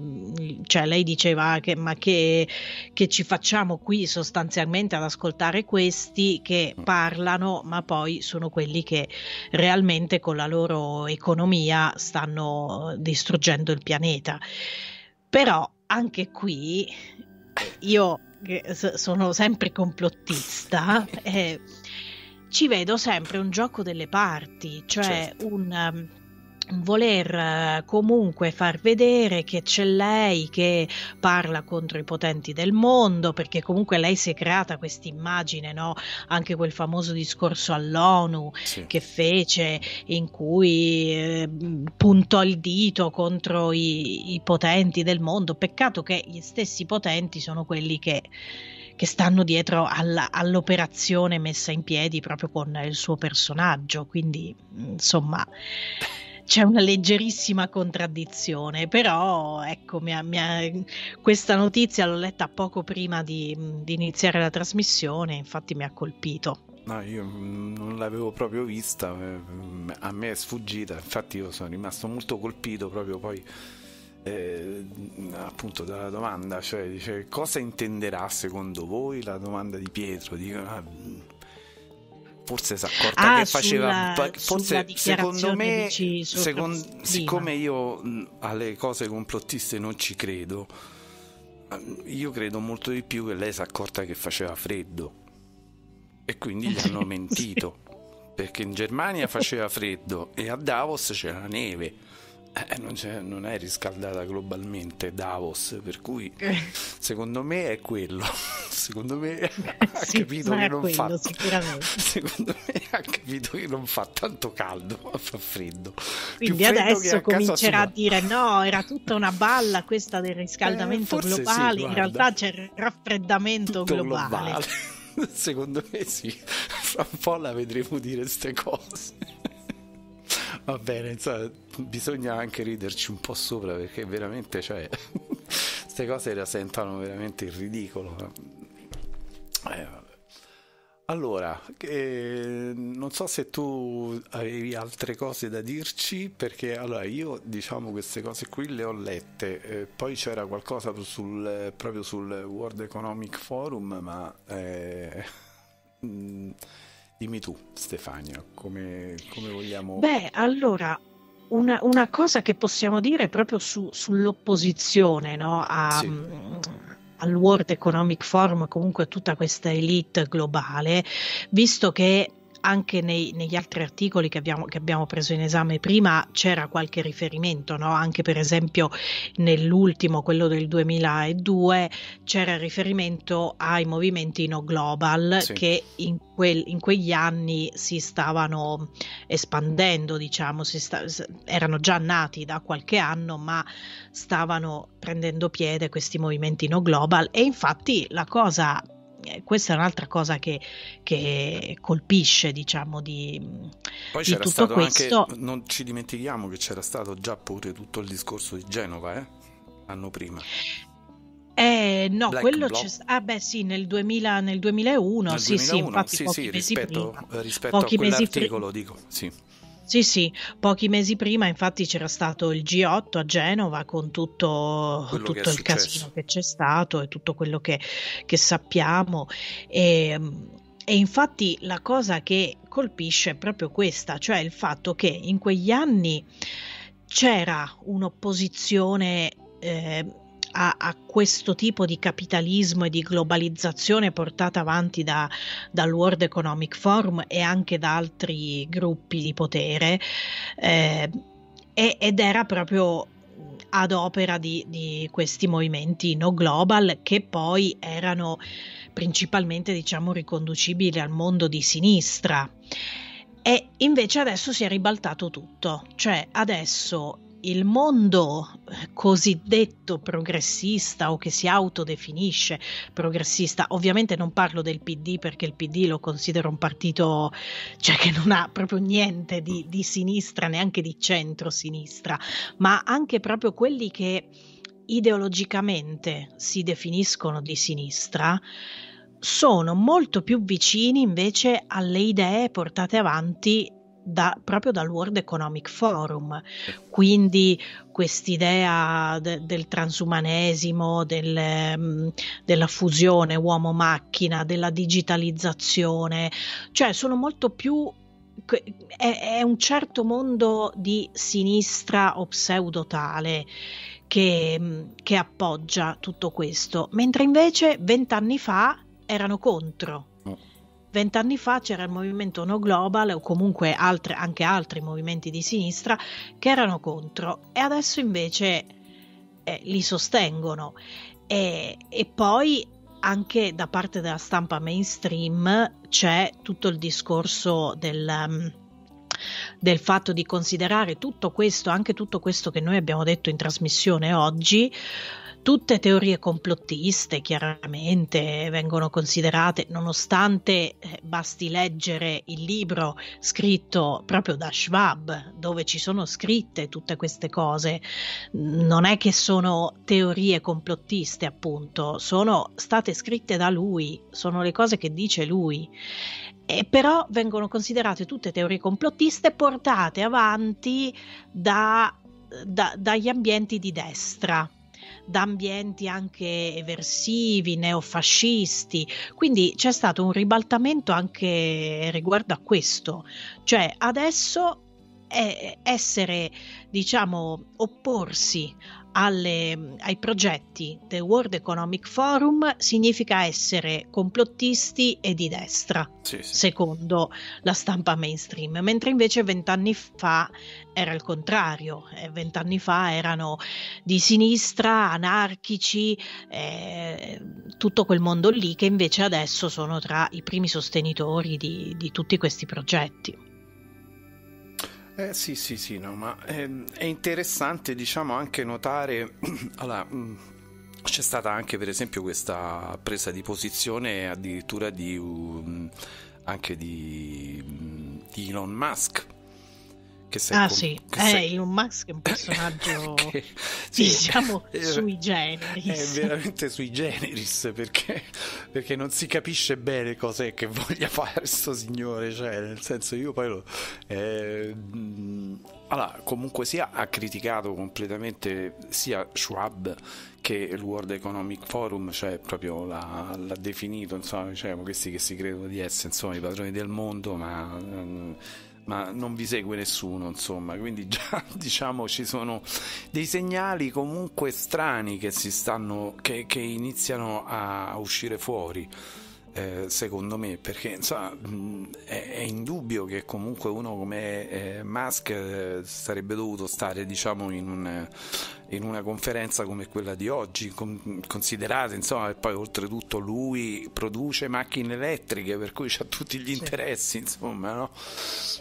Anche se comunque eh, io penso che la macchina elettrica nel giro di 5 anni se la danno in faccia tutti perché se è vero quello che già per esempio preannuncia la Toyota non so eh, quello che potranno fare insomma perché se si se se c'è l'intenzione di, di, costruire una macchina, di costruire, e ha, già esiste in realtà il motore a idrogeno, per cui ad acqua, se vogliamo, eh, le, eh, le, le, macchine elettriche se le danno in faccia, anche perché sanno benissimo che comunque non eh, sono un problema anche di sostenibilità perché comunque queste batterie non si sa come vengono poi smaltite nel tempo e per cui comunque producono un grande inquinamento anche loro per cui a questo punto io penso che ci sarà una virata molto forte nel giro di pochi anni insomma in questo senso.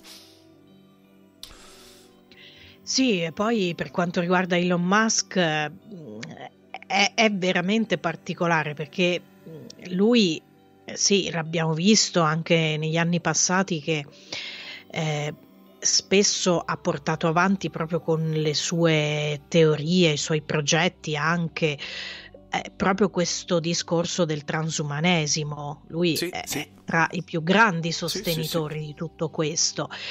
Poi però ultimamente soprattutto sta prendendo delle posizioni insomma che divergono da, dal dal pensiero dominante. Eh, mi, mi, sembra un po' una scheggia impazzita Musk, perché sì. intanto perché lui di base è completamente matto, cioè eh, credo che abbia anche che sia anche un Asperger, quindi insomma è un è, è, è, particolare proprio come, come, come, funziona lui, proprio come ragiona.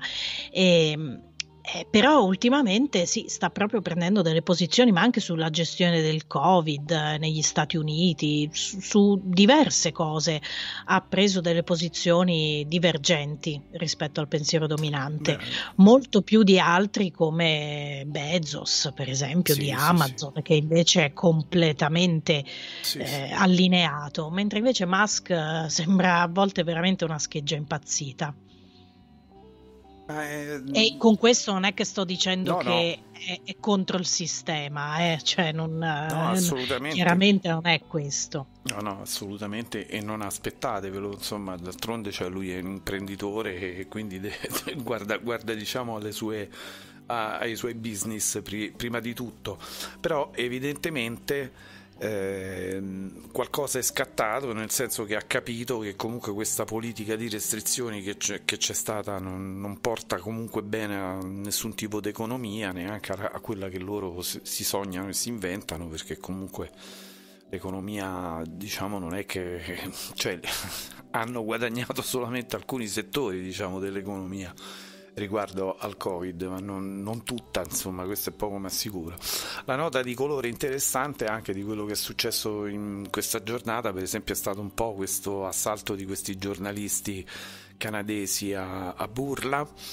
Eh, il, l'amministratore delegato della Pfizer eh, che stava a Davos eh, l'hanno beccato per strada e l'hanno tempestato di domande lui non si è degnato di dare una risposta eh, ha semplicemente risposto buongiorno, buonasera, state bene, cose di questo tipo, insomma, un, il classico, diciamo, però si è completamente trincerato, diciamo, dietro un silenzio impenetrabile di fronte diciamo, a domande riguardo al fatto se lui sapesse o meno che questo vaccino funzionava, che non era un vaccino, eh, quanti soldi ha preso, se non è ancora soddisfatto di tutto quello che ha incassato.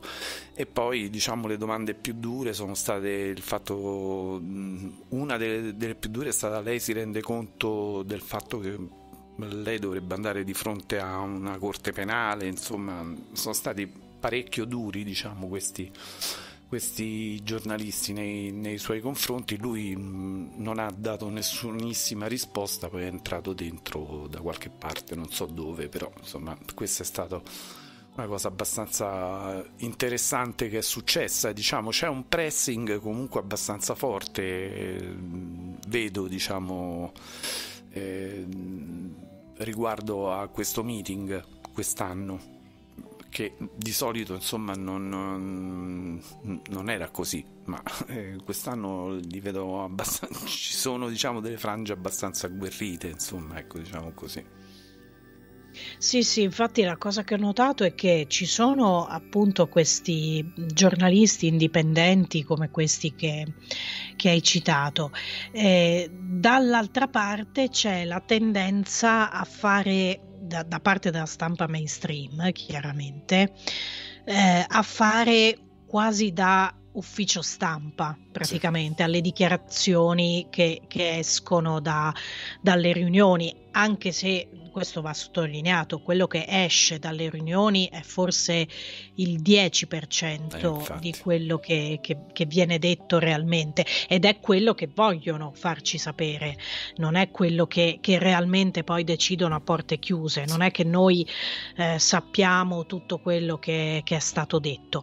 E, e comunque c'è appunto questa, questa cosa che eh, la stampa mainstream eh, ho visto non solo in Italia ma anche, eh, anche in altri in altri stati, in altri paesi, anche lo stesso New York Times è stato anche criticato, tra l'altro dalla sua ex direttrice, eh, che ha usato delle parole molto forti nei confronti dei giornalisti del New York Times che fanno praticamente sì da, da ufficio stampa perché si, si, limitano semplicemente a riportare quello che viene detto difendendo anche eh, i, questo gruppo, ma questo è chiaro, è sempre stato così sì. e sempre così sarà, però c'è proprio un appiattimento da questo punto di vista, eh, soprattutto negli ultimi anni e, e, anche quest'anno.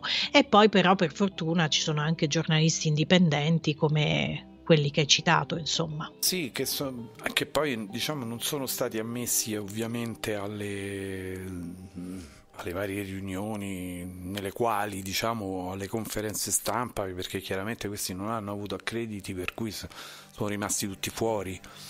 Però diciamo di fuori hanno, se, se, se, beccano il personaggio comunque cercano in qualche modo insomma di, di, di, di placcarlo diciamo così perché ho saputo anche di tantissimi giornalisti non, a cui è stato negato comunque l'accredito quindi mm, è, è, un, è veramente molto blindata come cosa e quindi ovviamente poi le,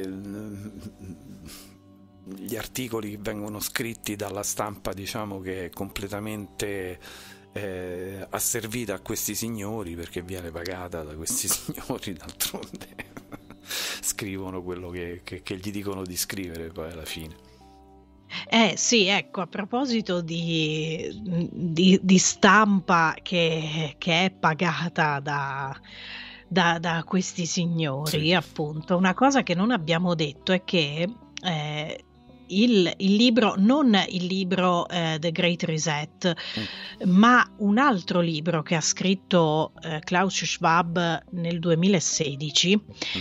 eh, che si intitola La quarta rivoluzione industriale, perché appunto lui teorizza la, mm, appunto questa quarta rivoluzione industriale che sarebbe la digitalizzazione sostanzialmente, cioè la, la, la presenza costante e sempre più forte del, de, del mondo digitale e del, è quasi proprio un superamento de, anche dell'attuale eh, concezione che noi abbiamo di internet per esempio.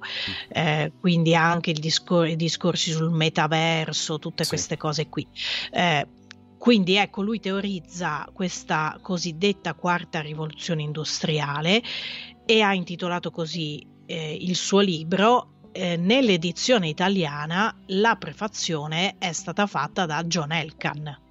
Tanto per dire, ecco. tanto per parlare di stampa che eh, è governata da, da questi signori. Sì. E quindi adesso mi è venuto in mente perché appunto non l'avevamo detto prima. E, e che eh, questo poi, vedi che poi mi vengono tutti i collegamenti, no? Allora, nel, eh, nel, in uno dei documenti che mi avevi mandato, eh, sì. adesso vado a riprendermelo, a un certo punto c'è, eh, è citata una frase di Samuel Huntington che è il famoso politologo americano, autore del, del saggio ehm, La crisi delle civiltà, The Clash, the clash of Civilization. Sì. Ed è anche autore del, dell'altrettanto famoso studio commissionato dalla, dalla Commissione Trilaterale eh, intitolato La crisi della democrazia, che è stato fatto negli anni 70 è un po' diciamo alla base di tutto quello che poi è successo nei decenni successivi, infatti viene spesso citato no? quando si parla della commissione trilaterale, c'è questo studio commissionato a Samuel Huntington e ad altri studiosi. Eh, allora, eh, questo l'ho detto perché eh, Samuel Huntington, appunto, questa, nell'edizione italiana di questo studio, la prefazione era di Gianni Agnelli. Quindi Beh, vedete come ritornano, ritornano sempre, però Samuel Huntington è critico nei confronti di Davos perché questa frase che è riportata in questo um, documento appunto che mi avevi mandato sì. eh, viene detto che Samuel Huntington ha etichettato il gruppo, quindi il forum di Davos, come un luogo di ritrovo per l'elite e ha coniato il termine uomo di Davos, un riferimento peggiorativo ai membri del World Economic Forum che secondo lui possedevano un errato senso di identità internazionale. Quindi lo stesso Samuel Huntington, dopo tutto quello che ha fatto, o proprio per per quello di cui si è occupato sì. in passato è critico nei confronti, era perlomeno critico perché qui si riferisce a forse alla, sempre alla fine degli anni 90, 90 tra sì, gli sì, anni 90 sì. e i primi 2000, quindi sempre il periodo che abbiamo detto prima quando c'erano i movimenti no global anche. Però è interessante questa cosa e anche questi corsi e ricorsi storici, no? Prefazione di Gianni Agnelli, prefazione di John Elkan al libro di, di sì. Schwab. Quindi vedete come ritornano questi personaggi sempre. Eh sì, sì, sì. Poi, eh, ma già che ci siamo, possiamo anche buttarla lì, insomma, chiaramente non ve le snocciolo tutte perché... Però ecco, insomma, sono riuscito anche... Eh, sono andato a trovare quanto dichiara il World, il World Economic Forum eh, almeno diciamo nel eh, c'era il diciamo sarà questa, questa sarà la dichiarazione dei redditi delle società in Svizzera. Eh, scusate. E eh, per il 2020 loro eh, avevano praticamente un, eh, un, un, bilancio pari a 360 eh, milioni mi sbaglio? E se no, sì, mi sbaglio Stefania? Sto leggendo bene? 360 Allora, devo no. andare a riprendere. Sì, riprendilo un attimo perché è interessante perché poi c'erano anche quanto loro prendevano di quanto prendevano annualmente, penso, insomma, diciamo tutti eh, i personaggi che stavano lì in, eh, in sì. sì. Allora, dovrebbe essere sì, 360 milioni. Mm. 639 mila eccetera dollari di dollari sì esatto sì. Allora, eh, Schwab prendeva nel 2020 solo eh, eh, un, un milione e 106 106 Porello. Sì, poverino, insomma. Gli altri, gli altri stavano tra i 900 e i, mm, e i 500, insomma. Eh, vabbè, insomma, è interessante perché c'è un bel giro di soldi lì dentro. Insomma, vedo. Questo poi era il 2020, per cui va bene così. Insomma. Allora, c'era Pietro che dice che diciamo che quest'anno tra funerali e arresti eccellenti, quest'anno abbiamo appena iniziato, appena, abbiamo appena, sì, appena cominciato l'anno, Pietro. Siamo solamente al 19 di gennaio. Allora, tra funerali e arresti eh, si è dato poco spazio al forum. Potrebbe essere interessante vedere se la Meloni verrà tirata in ballo, ma sembra che lei non, non credo che ci vada o comunque sembrerebbe di no per il momento abbiamo un ex bibitaro che ci è andato e dovremmo cercare di capire che ci è andato a fare. Insomma, forse lo assumono lì. Vediamo un po' come dai le bibite ai... Se sei bravo, insomma, se sei bravo, sei, imparato. La questione che sollevi Stefani è probabile, le destre sembrano i nemici attuali, ma poi assecondano BCE e compagni Non so se ah, sì, beh, mm, eh, assolutamente, ma infatti è, è, tutto un gioco delle parti, non, non c'è un, un, buono o un cattivo. Eh, è chiaro che anche le, le destre o le cosiddette destre, perché insomma cioè ormai di, di, veramente ideologico di destra e di sinistra c'è, c'è proprio poco se non niente Zero. quindi è chiaro che sì anche loro sono, fanno assolutamente parte del piano eh, non è che non è che sono contro il sistema, tant'è che, ecco per esempio la Meloni che lui ha citato, eh, anni fa ma, ma, neanche tantissimi anni fa, si parla di pochi anni fa, diceva cose per esempio completamente diverse sulla questione ucraina e, e sulla questione russa. Quindi adesso invece che al governo chiaramente sostiene assolutamente Zelensky, eh, è completamente allineata, quindi sì, è così. Vabbè, ma poi quando c'hai un ministro, no? Che è coinvolto, cioè che è direttamente interessato diciamo, a vendite di armi e sistemi d'arma e quant'altro, eh sì. insomma, per cui mm, più chiaro di così. Cioè, non, non, c'è un politico in Italia che vuole staccarsi né, dal, né dal, dagli Stati Uniti né dalla Nato, non c'è nessun politico che vuole fare gli interessi dell'Italia realmente. Destra, no, ma anche perché se sinistra, ci fosse non glielo farebbero ness- fare. Ma quindi. oltretutto, infatti, durerebbe lo spazio di, di pochissimo, insomma, altro che, altro che Matteo Messina Denaro che viene, che viene arrestato, insomma, dai. non scherziamo, ragazzi. Va bene, allora non so se penso che più o meno siamo arrivati al finale, diciamo era interessante io quello, forse ecco, la, la, possiamo ecco, buttarla così o magari concluderla così stasera.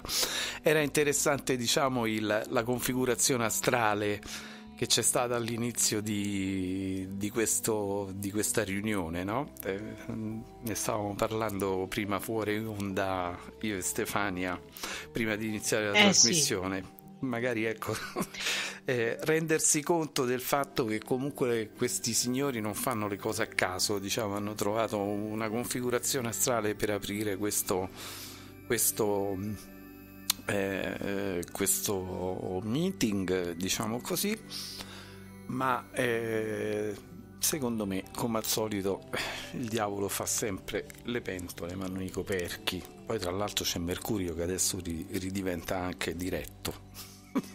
non so se, se sta cosa l'hanno notata, i maghetti che si divertono a fare queste cose. Ah sì, ma comunque sicuramente eh, appunto non fanno le cose a caso, caso no, e, no. e, conoscono benissimo l'astrologia, e nonostante poi invece eh, nel mondo mainstream, nel mondo ufficiale venga costantemente dileggiata o comunque considerata una cosa da, da oroscopi sui giornali, ma invece loro conoscono bene la vera astrologia, quindi sì, mm, sicuramente non, non, hanno scelto a caso anche questa data, hanno trovato comunque, chiaramente questo, questo forum viene sempre fatto in questo periodo, sì, verso sì. la fine di gennaio, però comunque ci sono sempre delle, dei momenti più propizi di altri. Ah, eh, ecco. Eh, certo. Hanno i loro esperti, diciamo, oppure i loro esperti li guidano e, e gli dicono come devono fare le cose a questi signori perché tanti di questi sono pure proprio completamente inconsapevoli, secondo me, di, del, del, del giro di cui fanno parte. Ah sì, sì, beh certo, beh, non è che tutti sono, sono, ne, ne, sono consapevoli, anzi mh, sicuramente una minima parte, quelli, quelli, che stanno veramente in alto ne sono forse consapevoli, forse neanche di tutto. Eh, no, infatti, infatti. Non è che sono non sono onnipotenti, anzi, no. proprio perché non lo sono, vengono proprio utilizzati come dei burattini. Come burattini. Perché anche, anche, questo Schwab di cui abbiamo parlato stasera, eh, sì, sarà potente quanto vogliamo, ma ma rimane sempre un burattino. Infatti. Allora, con questo io direi eh, siamo arrivati al finale per questa sera. allora, eh, detto questo, io do la buonanotte a tutti, do la buonanotte a Stefania. Buonanotte, buonanotte a tutti. E io vi lascio con un bel brano del, del bravo eh, Ravi Shankar da Inside the Kremlin vi lascio con un bel mantra, questo è Shanti Mantra.